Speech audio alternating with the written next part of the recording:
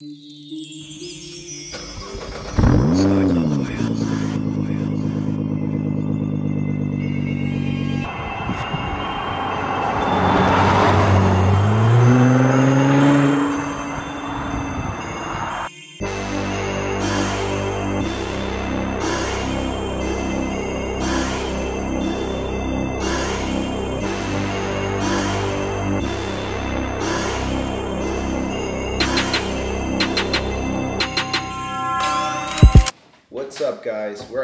doing our very first podcast, and this is something we've been talking about doing for a while, but because of time and really, because that's Yeah. really the main issue, we just, Just- haven't really done it.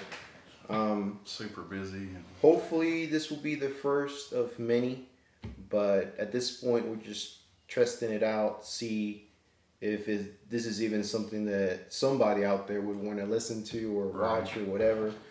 Um, but um, we got big plans for these, and hopefully, um, many more to come. oh yeah, definitely. And I hope they work out good. Um, and also drop comments on what you'd like to hear us talk about in our part podcast. Primarily, I believe the channel will be based on car and the automotive world. However, um, since we deal with so much gear from you know where the cameras, the microphones, lights, and everything in between, we also want to give people a little bit of uh, basically the knowledge that we have that we gather in the years that we've been doing this. Um, and you know, uh, with so much gear coming out day in day out, you know, not necessarily the most expensive camera, Yeah. most expensive microphone, or the things that you need. Sometimes there's really good alternatives out there that are, you know, a fraction of the price that are probably more than enough for most people. You know, um, I think a lot of people see um, you know, big YouTubers and things like that with uh, with like red cameras and Yeah. and these crazy setups. And quite honestly, like unless you're really shooting something that is borderline like a movie, I just don't think anything like that is Yeah. necessary. Yeah, and then also we're gonna like all the new car stuff coming out. Just try to touch on that, and then the same thing. If you don't have to spend, if you can get the same quality part for a fraction of the cost, we're gonna try to, you know, give you the heads up on that stuff too, just to save you money and still get the same performance, whether it be camera gear or cars. So, Yes, I, I'm a huge believer if that a part is worth the price, definitely get it. But for something that is literally just a piece of metal that there's no technology, no nothing to that. I'm, I'm all about like if there is something that is actually better, that is cheaper, go for that. And also like in the used market, like a lot of people act like that's not a thing that is available, but yeah, there's a if- big use market. if you can if your chassis or, or your platform has been around for a while more than likely somebody else has done what you've done and want to upgrade so somebody else's downgrade is could very well be your upgrade Yeah. uh, for half the price Yeah, sometimes and even people- less people change their setups all the time. Mhm. You know, uh, so it's the used market is really really good, and I think you know it's easy to find now on Facebook. You know, have web groups for Subarus, GTRs. Um, you know, every little market that you're looking for, you can always find good quality used parts. So it shouldn't really be a problem, and you know we're going to help you. Like, might even do like um, you know, look, something we're looking for for our personal vehicles, and then show you how we found it and and used, and just make sure you don't get ripped off with, you know, be aware of buying stuff through through Facebook and all that. So yes. it, it, I mean, if you can buy it local and meet the person, I recommend that over just you know shooting them the money and you don't get nothing in the mail two or three weeks later. that or you know something that even very recently happened to me. There was something that i bought that i mean even with it not being complete it was still about half as much as what it would have cost for me to buy it new. So in the end it still worked out but they send me everything except for one piece and when, when i called the um, the company that makes it, like it was a few hundred dollars. So, you know, things like that are probably more common than people just straight up not sending you stuff. But still, it's just something to kind of be wary. Like like Yeah. Tommy said, if if you can like go grab it and touch it and feel it Yeah, and, and make sure everything's there, I you know we would definitely advise you to go that route for sure. Um, is there any platforms or anything that you want to talk about? Um, let's talk about the new Toyota '86. I think The new '86. I seen um, Rob Dahm's video on it the other day, and he he seemed to really enjoy it. And they also broke down uh, some interesting stuff. I thought for the Uh-huh. aftermarket, they're actually said that they actually built the car like it's really dumbed down performance wise. Are you talking about the Supra? Yeah. Oh, okay. I thought you said eighty six. I was like, what are Well, you they, talking they about? call it like it's the the new eighty six. yeah yeah. Well, yeah. Yeah, that, that is but- one thing that I definitely feel I mean, it didn't leave live to the the Supra name. No. But then again, I don't feel like nothing would have lived up Yeah, to the Supra and- name. I mean, like they had such a good project. uh, The way as I feel about it, because the Supra back in the day, I mean, it's still relative to today. Like it's a timeless design, I think. And then the new one just, uh, I don't know, it really didn't really do much for me because you know it's like I feel like it's that video when you see a Supra is like, "Ah, yo, is that a Supra? And uh, spraying Windex in his Yeah. eyeglasses. You know, Yeah. that's like I've And- seriously watched that meme hundreds of Um, times. Yeah, so and I don't feel like the new one does that, but I haven't seen it in person yet, so I'm gonna try to wait to see it. I mean, it does look cool in the pictures, but I feel like it doesn't really resemble what it is. I feel like it's just a Z4 with the the front and the back cut off and changed and redesigned. But like I said in that video, they was telling Rob Dahm, um, you know, they like it's they've put the bi- biggest intercoolers and stuff like that to make it where it's real easy. Well, it's real mod friendly. So I think that's kind of cool that and they built the motor to handle a little bit more power than what it comes out with. So it's going to be really mod friendly and and I thought that was neat that the manufacturer is you know they're not planning for it just to have the 330 horsepower all its life.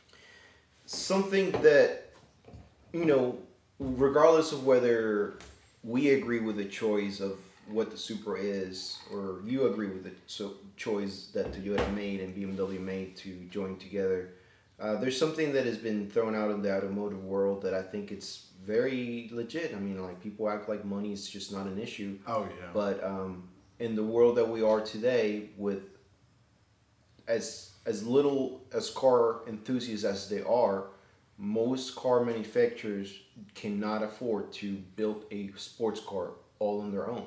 That's why Right. you've had Toyota do the '86 with Subaru, right. and now they're doing the Supra with BMW. Yeah. Um, is that a cop out for them not to make their own? Who knows? But at the end of the day, most people are literally just not worry about how fast their car is. They're just literally trying to get from A to B, Oh yeah. and they're trying to see how they get there for the least amount of money. Whether is that is how much the actual car was, or how much gasoline to take you there. You know, like efficiency and stuff like that. So. Right. Um, I just think we're we're at this weird place. In many ways, it's kind of like the the the golden era of performance. Uh, I would definitely say, Oh, yeah. especially Like, on the really On the American car world, like they're seeing Yeah. a big boost.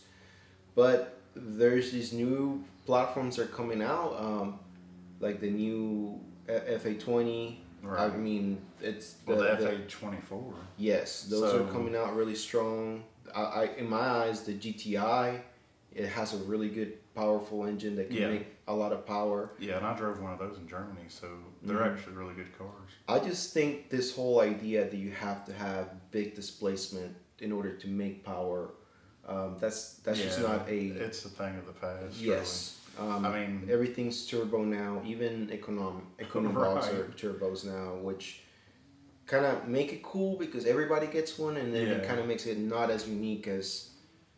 You know, we, yeah, we, right. we, you go back like whenever Subaru put turbos on a four Right. cylinder, and It like, was people really were losing their minds. It was know, next level, yeah. um, I mean, back in 05, 04, like STIs were, were like just so far ahead of the game.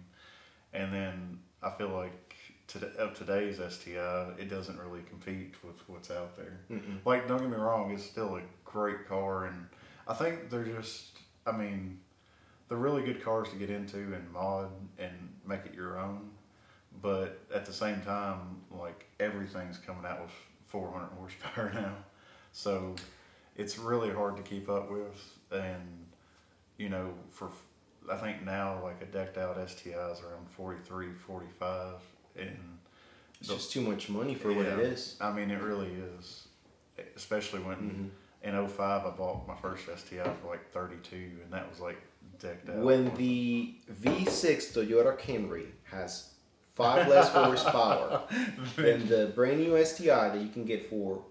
I mean, if you were to start adding up options, you could get it to 50. right. Oh yeah. I mean, that is a very hard recommend recommendation. Yes, Uh, yes. For 50 grand, you can get a lot of cars. Right. You know, well, I mean, at 50 you're looking- grand now you can get a da- you You can get an, an used GTR. You can get something American. You can get a nice Yeah. vet. Like, Oh, yeah. so much more car Yeah. than I mean, what that is. Yeah, because the, the only edge the the Subaru's got over those cars is it's more practical. Like it's got four doors, uh, more space, and it's easy to get out in and out of.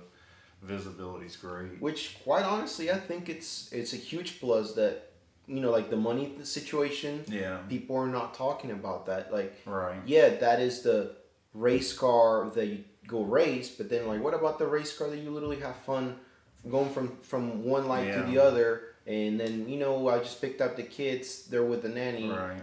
I'm gonna go hit up a, a, a couple fun roads. You know, there's something to be said about that Yeah. too, and And that, yeah, that's how you get the kids into And- it too. and so. so also something to be said about how much power do you actually need? Oh, Because uh, you know when you when you go down to it, shoot man, like on the right t- on the right car, hundred horsepower is, enough. Like you get on, on a little Miata that is decked Oh, out yeah. right, you go on the, the right back road, yeah. man, you're gonna have fun. Oh yeah, that's like Uh, those um Fiat uh, Spiders. Yeah. that- that's a good. Uh, one of my buddies has one of those that's uh, upgraded with the turbo and stuff like Wow. Okay. And I drove it, and it don't feel like you're going fast, but they was actually behind me in the STI, and he said he was trying everything he could to keep up, but I didn't feel like I was going fast at all. uh, you know, we, we've talked about this a couple times, but that is one of the main reasons that kind of like make as good as a, a Subaru is for handling, especially the newer ones with the Yeah. vectoring and and all that stuff they got All that going on after you know all the years of them figuring out how to do with the all drive. Yeah. Um, I went to a back road with some nice KW coilovers. You know, it was it wasn't crazy set up, but it was like what most people would do Right. and I went with an NA Miata, and he had pretty much done everything he could as far as suspension. But you know, at the point at that point, he all he had was like an exhaust, Yeah. and I had the most difficult time trying to keep up with him. and I mean, I don't consider myself to be like a horrible driver. I'm not like the greatest out there or anything, but. I was, I was at that point where I was like, wow, I finally get Miatas. Or I finally Yeah. get cars that are they're that light Right. that are Well, cu- curvy road cars, not necessarily Yeah. straight road cars. And see, that's why everybody loves the the BRZ or the FRS because I drove those too, and they don't have any power straight line, but they do have good cornering and stuff like that. And they they they're good road canyon carvers, or you know, just a you need a real good curvy back road to have fun with those.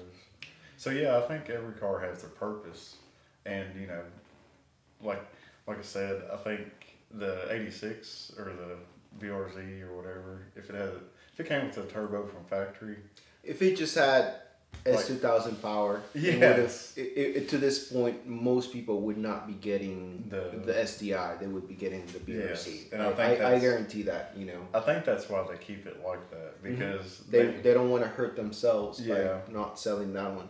Because at the end of the day, once again, we're, we're going back to that money. Right. That is somehow, I mean, who knows how Toyota did it, but somehow Right. Subaru gets some money out of that. Yeah. You know what I mean? So Oh, yeah. it's not a sell that they get 100% of that versus if they sell a WRX or if they sell an STI, Right. that is 100% of the money that they're making. Yeah. Um, but you know, going back to this whole thing of you have your cars that can go one thing or cars that can do other. The reason of why I feel most people are so passionate about Subarus is because they're so good to get you to that like almost. They can you know like if a Miata is a one out of ten and Right. it's a ten, a a rightly set up Subaru can be like a seven or an eight. Like that's just how it is Yeah. if let's say a fast muscle car on a straight line is a 10 a subaru can get you like a 7 or 8 like once again you know what i mean like and it's all about how you want to set it up where you want your money to go where you want your mods to your mods to go Yeah. and that's why in my eyes what makes it so special because you you got guys in the super world who are like into camping into Right. uh, rallying into. I mean, now even like drifting, which I mean, I don't, I don't really understand. Like, you know, why you would get an all-wheel drive in car and uh, make it Take- rear-wheel drive, yeah. but still, um, every every kind of out of mode, out of sport war uh, performance activity there there is. Right. Subarus are doing a little bit of that, which in my eyes are what makes it the the best. Even though we're so critical about it, and I Oh, think yeah. we're so critical about it because we love them so much. Yeah. Um, and that's just kind of how it is, you know. And at the end of the day, Right. like that is my dream car. Like one day, Yeah. like you said, you will always have a, a, a STI, Oh yeah. and I mean, I plan on getting other cars, but Right. that that's it. Like I'll once I die, that that passes to my children. You know what I mean? Yeah. Like I, unless something really bad happened, which I hope not. Right. But, um, but yeah, Yeah, no, and I, and I I think you're right about that. Like why we are so critical on them is just because we do love them so much, and and uh, we want them to advance. But it's just like when they're falling behind, you know, it's kind of scary because yeah. Um, We know, we know the potential that they can have, and you know, um, I don't know exactly where we're at. 17 minutes. That's not bad. Uh, I don't know where we'll take this video to and what all we'll talk about, but one of the things that we've talked about is if Subaru from the factory were to sell this like a ten thousand dollar option. I mean, I personally think they could do it for way less, but like Yeah. even if that was an option that you could get it for ten grand from the factory and it's a built motor, um, I don't understand why they don't have that option out there. I, I know most people would take it, oh, and yeah, because then you wouldn't have to do anything but bolt your stuff to it. we've he's even talked about some other crazy stuff. Oh, want yeah. to talk about your idea? Yeah, well, my idea is Subaru should just sell you the car and then no engine in it, and then you could just put your engine in it and then roll on from there. Because, I mean, it's just a matter of time when you're going to put a built motor in it. So if you could just cut out that and then just you know go ahead and spec your motor to what you think you're going to make or something like that, or you know go ahead and put in the rotated kit and turn it up, have fun, and not have to worry about it. But I'm sure you know, you heard that first part, the car without a without an engine, because Right. everything else is actually really good. The the, the drivetrain is really good, Oh, yeah. axles and all Yeah. that stuff. It's just the engine. Not not to say they can't be upgraded. Oh, yeah. Obviously they can, you know, but um, it is just such a shame. I feel like at, this point, but we're we're I um very very close to. I think we're very very close to um, seeing the new FA STI. And whether they go FA twenty four, F twenty five, I think it's gonna be an upgrade over the WRX that is out right now, and seeing what they're doing with the new platform, Oh yeah, having that extra I mean, displacement, I think is is just gonna be unreal. yeah, because like you said, you sent me that car the Mhm. other day that Junior did at fifty pounds, and would it make nine something? Yes, uh, that's So, that's that I seems mean, like. I mean, I just don't think I could be wrong. I just don't think the EJ four or five years into its when it was made, it was making that kind of power. Um, well, the technology wasn't there. like yes, and then there's also the whole thing in which people don't like to talk about. But let's be real, like the reason of why they're able to extract all the power out of the FA is because the, the Direct. tuners have had all this experience Yes. with Subaru in the past, and Yeah. they they're finding different ways, but it's all very much the same thing that they've been doing. Yeah, and the new motor's direct injected Mhm. too, so that makes a big difference. Which I'm pretty sure they're using port injection and direct injection For the that. for the big power, yeah, for sure. yeah. Which uh, if Subaru did that from from the get go on Oh, the new yeah. STI, ooh, yeah, they, they, they would have something special in their hands for Ex- sure. Exactly, because I mean, like I said, I, I do like the new FA motors. Uh, the gas mileage is a lot better, Mhm. and I mean, it just makes them more dri- you know drivable and stuff like that. Because the EJs they don't really get the greatest. And I had, a while back I drove a 2018. Um, I was doing something for the dealership for about a week, and driving that compared to an STI, as far as like the gas mileage is tops. Like I mean, it, it's yeah, actually, it is. It's, it's- literally a generation ahead. it, you know it I mean? surprises me because, like I said, if they can get that into an STI and then you can still have your performance Mhm. Plus the gas mileage, like that's just awesome. Because you know, more money you save on gas, you get more money you got for parts. For sure. and uh, I mean, there, there's there's many reasons of why I think Subaru will have to do that. I don't think they Oh, have a choice. No, they don't have a choice Uh, because they already point- lost the sales in the UK. Yes, um, yeah. because of the gas mileage. Mhm. Um, And other there are plenty other countries will will After I think 2025 will literally not allow you to have a sedan that gets under 25 miles per gallon, and um, SUVs will still be around 20, which I mean that's still not bad, but right. um, when when you think about it, like a modded EJ STI or WRX gets borderline the mile gas mileage of like a big fifteen hundred truck. Oh yes, And probably, that's just not worse. that's just not acceptable on a four cylinder. It's just not. You know. Um, Yeah, because especially when they're on E85 and stuff, and big injectors and big power. Yeah. Like, I mean, I mean, I've seen some dudes with 10 miles per gallon on a Yeah. four cylinder. And, you know, if you were telling me that a V12 or V10 made that, I'd be like, okay. right. But a four cylinder, Yeah, you know, they and, fuel. it, and it's and it's literally what they're made for. They're made for the more air, the more fuel you throw Right. at, the more power it'll make. I understand that, but still, like I feel like from the get go, like from the factory, should be somewhat better at being more efficient. Right. Um, which I mean, the new ones are. Um, they're getting there. But um, oh yeah. we got about 22 minutes. Is there anything else you want to talk about to wrap this up, or No, you want to keep talking? We'll just wrap it up here. Um, that way, we'll just. But guys, this is just going to be the first of many, and um, if you like this, please give us a like and subscribe, and then also drop a comment below of a topic you would like us to talk about, or you know, we can even discuss with you in the comments, Mhm. um, and go from there. But uh, as always, we appreciate y'all viewing, and uh, we'll see you in the next episode. Stay tuned also for a lot of content that is going to be happening today. Lots of cool shots with uh, graffiti and just city, city scenes. Also some cool burnouts later.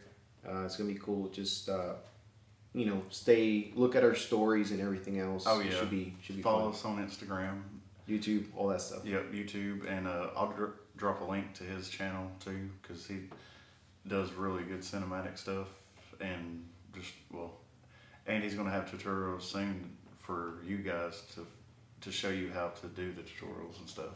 That's right. So if you like camera gear and cars, check us out. Peace, guys. Thank you. Later.